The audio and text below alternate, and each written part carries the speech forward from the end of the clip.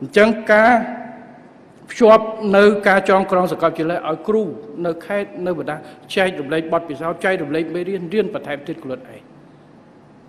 អ្វីដែលជាលក្ខណៈពិសេសនេះគឺការអនុញ្ញាតឲ្យសិស្សអាច transfer credit បានអញ្ចឹងសិស្សអត់ខាត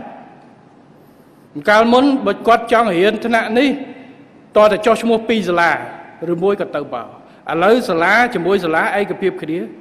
ថាឥឡូវបើគាត់យកជំនាញ IT គាត់ត្រូវការយកប្រមាណ credit អញ្ចឹង credit ក្នុងនោះមាន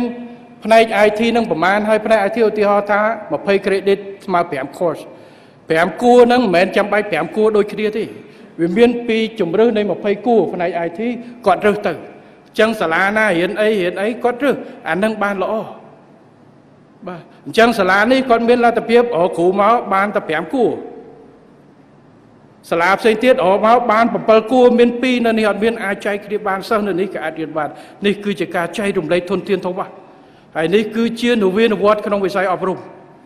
ហើយខ្ញុំថាបើវិស័យអប់រំដើរយឺតជាងនវានុវត្តអត់ទៅរួចទេព្រោះមនុស្សបង្កើតរាល់សមត្ថភាពនឹងដាក់ចេញនៅកិច្ចការនវានុវត្តទាំងអស់បើមនុស្សដើរយឺតมันអាចទៅរួចទេចឹងតតការអប់រំបដោះបដិទីធំ